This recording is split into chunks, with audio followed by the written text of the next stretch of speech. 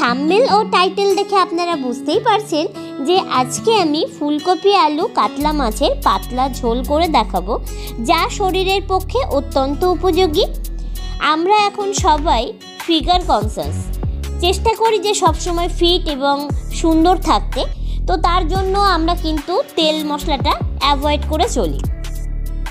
যেহেতু খুব তেল মশলা দিয়ে খাবার খাওয়া কিন্তু শরীরের পক্ষে খুবই খারাপ, ওই জন্য আমরা চেষ্টা করব যে খুব তেল মশলা না দিয়ে পাতলা ধরনের ঝোল খেতে, যেটা শরীরের পক্ষে খুবই ভালো। আর যারা রুগী আছেন যাদের তেল মশলা খাওয়া এমনিতেই বারণ, তারাও কিন্তু এই রেসিপিটা করে খেতে পারেন এবং খাওয়াতে পারেন। তাছাড়া ফুলকপিতে এবং কাতলা মাছে প্রচুর পুষ্টিগুণ আছে। রান্না করার ফাঁকে ফাঁকে আপনাদেরকে জানাতে থাকব যে ফুলকপি আর কাতলা মাছে কি কি পুষ্টিগুণ আছে। এখন চলে আসি কি কি উপকরণ লাগছে। একটা ফুলকপিকে আমি এরকম টুকরো করে কেটে নিয়ে ডাটাটা কিন্তু চার খণ্ড করে চিড়ে নিয়েছি, যাতে ডাটা খুব ভালো সিদ্ধ হয়।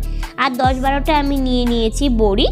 আর এখানে আমি দুটো আলুকে এরকম টুকরো করে কেটে নিয়েছি লম্বা লম্বাভাবে। আর এখানে ছ পিস নিয়েছি কাতলা মাছ।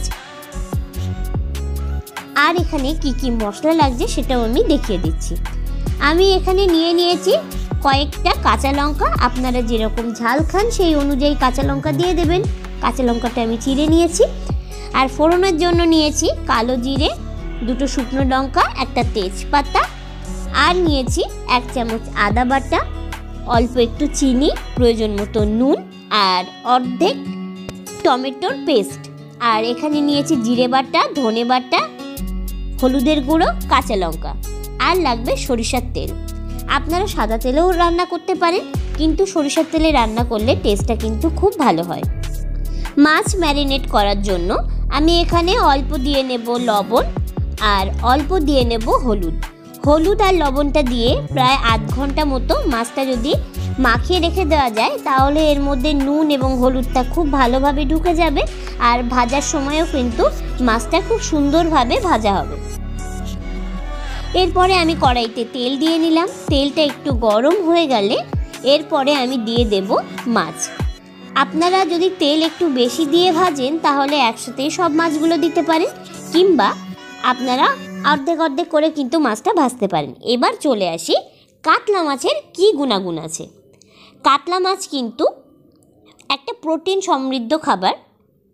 যাদের শরীরে প্রোটিনের ঘাটতি আছে, তারা কিন্তু কাতলা মাছ চোখ বন্ধ করে খেতে পারে। একশো গ্রাম কাতলা মাছে আঠেরো গ্রাম কিন্তু প্রোটিন পাওয়া যায়।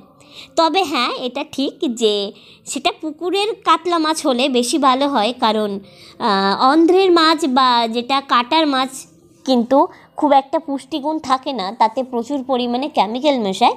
যদি পুকুরের কাতলা মাছ পাওয়া যায়, তাহলে তো কোনো কথাই নেই। আর কাতলা মাছ কিন্তু ভালো করে আমি ভেজে তুলে নিয়েছি এপিটোপিট করে ভেজে। এবার ওই তেলেই কিন্তু আমি দিয়ে দিলাম ফুলকপি। ফুলকপিতে লবণ দিয়ে আমি কিন্তু ভালো করে ভেজে নেব আর ঢেকে ঢেকে কিন্তু ভেজে নেব। এবার আসি ফুলকপির গুণাগুণ। ফুলকপিতে ভিটামিন বি আছে, যা মস্তিষ্ক ভালো রাখতে সাহায্য করে, ক্যান্সার প্রতিরোধক করে। ফুলকপিতে হার্ট অ্যাটাক এবং স্ট্রোকের ঝুঁকি কমায়। ফুলকপিতে গ্লুকোসাইনোলেটস থাকে, যা এনজাইমকে সক্রিয় করে এবং শরীরকে ডিটক্স করতে কিন্তু সাহায্য করে।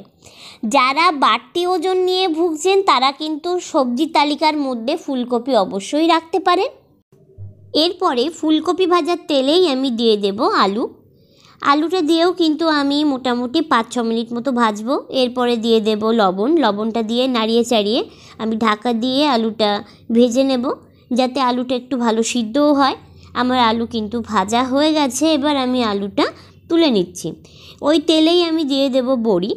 বড়ি কিন্তু খুব বেশি ভাজবো না, তাহলে বড়ি একদম পুড়ে যাবে আর তখন খেতে কিন্তু ভালোও লাগবে না। মোটামুটি এক দু মিনিট মতো নাড়িয়ে চাড়িয়ে নিয়ে আমি আবার কড়াইতে অল্প একটু তেল দিয়ে নিয়েছি। তেল দিয়ে শুকনো লঙ্কা, কালো জিরে, তেজপাতা ফোড়ন দিয়ে দিলাম। আর ওই তেলেই আমি দিয়ে দিলাম টমেটো পেস্ট। টমেটো পেস্ট দিয়ে একটু নাড়িয়ে চাড়িয়ে নিয়ে তার মধ্যে দিয়ে দিলাম কাঁচা লঙ্কা বাটা। কাঁচা লঙ্কা বাটা দেওয়ার পরে এর মধ্যে দিয়ে দিলাম ধনে বাটা। ধনে বাটা দিয়ে আমি এর মধ্যে দিয়ে দেবো অল্প একটু জল যাতে মশলাটা পুড়ে না যায়। মশলা পুড়ে গেলে কিন্তু একদমই ভালো লাগবে না খেতে। এরপরে আমি দিয়ে দেবো এর মধ্যে এক চামচ আদা বাটা। আদা বাটা দেওয়ার পরে আমি কিন্তু মশলাটা কষিয়ে নেব এক মিনিট মতো। মশলা কষানো হয়ে গেলে হালকা হালকা যখন মশলা থেকে তেল ছেড়ে দেবে, এরপরে আমি এর মধ্যে দিয়ে দেব জিরে বাটা। জিরে বাটা দিয়ে আরও এক মিনিট মতো নাড়িয়ে চাড়িয়ে নেব। তার আগে আমি এর মধ্যে দিয়ে দেব অল্প জল। তারপরে আমি এর মধ্যে দিয়ে দেব হাফ চামচ মতো হলুদ গুঁড়ো যতটুকু প্রয়োজন হয়। হলুদ গুঁড়োটা দিয়ে আমি আরেকটু নাড়িয়ে চাড়িয়ে নেব। তারপরে আমি এর মধ্যে পরপর আর যেসব মশলাগুলো আছে সেগুলো অ্যাড করব। এরপরে আমি এর মধ্যে দিয়ে দেব কাশ্মীরি রেড চিলি পাউডার। এটা অপশনাল আপনারা চাইলে দিতে পারেন, আবার নাও দিতে পারেন। এর মধ্যে দিয়ে দেব অল্প করে লবণ, যেহেতু আমি আলু, ফুলকপিতে লবণ দিয়ে ভেজে নিয়েছি, ওই জন্যে বুঝে দেবেন। তারপরে আমি দিয়ে দেব আরেকটু জল। জলটা দিয়ে কিন্তু আবারও ভালো করে কষিয়ে নেব। তারপরে আমি এর মধ্যে দিয়ে দেব চিনি। সমস্ত মশলা যত ভালোভাবে কষানো যায়, তরকারির টেস্ট কিন্তু খুব ভালো হয়। মশলা থেকে তেল ছেড়ে দিয়েছে। এরপরে ফুলকপি, আলু, বড়ি যে ভেজে রেখেছিলাম, সেটা আমি এই মশলার মধ্যে দিয়ে দু তিন মিনিট মতো কষিয়ে নেব।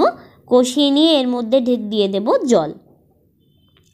জলটা আপনারা যেরকম ঝোল খাবেন সেই অনুযায়ী কিন্তু জল দেবেন।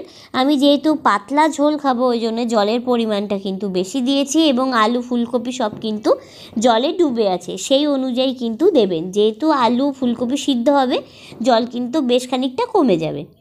মোটামুটি দশ মিনিট পরে ফিরলাম রান্নাতে।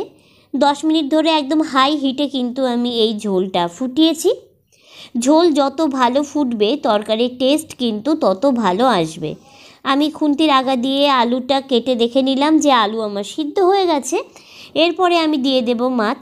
মাছ কিন্তু দিয়ে ঝোলের মধ্যে ডুবিয়ে রাখতে হবে। তাতে মাছের মধ্যে ঝোলটাও ঢুকবে এবং ঝোলের মধ্যে মাছের যে ফ্লেভারটা সেটাও কিন্তু খুব ভালোভাবে মিশে যাবে। এরপরে আমি এর মধ্যে দিয়ে দিলাম চিড়ে রাখা কাঁচা লঙ্কা। এটা অপশনাল আপনারা দিতেও পারেন, আবার নাও দিতে পারেন। তবে কাঁচা লঙ্কার যে একটা গন্ধ, সেটা কিন্তু এই ফুলকপির তরকারির মধ্যে একদম ম ম করে, দারুণ লাগে। এরপরে মোটামুটি আরও তিন চার মিনিট মতো ঢাকা দিয়ে রাখব, একদম মিডিয়াম আছে। আমার ঝোল কিন্তু বেশ ফুটে গাঢ় হয়ে গেছে। এর থেকে বেশি কিন্তু আমি ঘন করব না, তাহলে পাতলা ঝোল আর থাকবে না। আমার মোটামুটি দশ মিনিট মতো ফুটিয়ে নিয়েছি আরও। আমার একদম রেডি হয়ে গেছে, ঝোল কিন্তু ফুটে গেছে। এরপরে ঢাকা দিয়ে রাখব মোটামুটি আরও দশ পনেরো মিনিট। তারপরে গরম গরম কিন্তু এটাকে পরিবেশন করব। একদম রেডি হয়ে গেছে আমার পাতলা মাছের ঝোল। গরম ভাতের সাথে ফুলকপি, কাতলা মাছের এই পাতলা ঝোল জাস্ট অসাম লাগে। অসাম লাগে। আমি ঠিক যেভাবে আজকে এই রান্নাটা করেছি, আপনারা কিন্তু বাড়িতে অবশ্যই করবেন আর কমেন্ট করতে কিন্তু একদম ভুলবেন না। আপনাদের যদি কোনো রেসিপি আবদার থাকে আমার কাছে, অবশ্যই করতে পারেন। কমেন্টের মাধ্যমে জানাবেন আপনারা কি রেসিপি দেখতে চান। আমি অবশ্যই আপনাদেরকে সেই রেসিপি দেখাবো। আপনি যদি আমার চ্যানেলে নতুন হয়ে থাকেন, তাহলে অনুরোধ রইল চ্যানেলটাকে সাবস্ক্রাইব করে পাশে থাকা বেল আইকনটা ক্লিক করে রাখবেন। আর যেসব বন্ধুরা আমার চ্যানেল অলরেডি সাবস্ক্রাইব করে আছেন, তাদেরকে জানাই অসংখ্য অসংখ্য ধন্যবাদ। আমার আজকের এই রেসিপিটা দেখার জন্য সবাই ভালো থাকবেন, সুস্থ থাকবেন, আর সবাই খুশিতে থাকুন। আর কোনো রেসিপির আবদার থাকলে অবশ্যই জানান। অবশ্যই আপনাদেরকে সেই রেসিপি করে দেখাবো। সবাই ভালো থাকবেন, টাটা!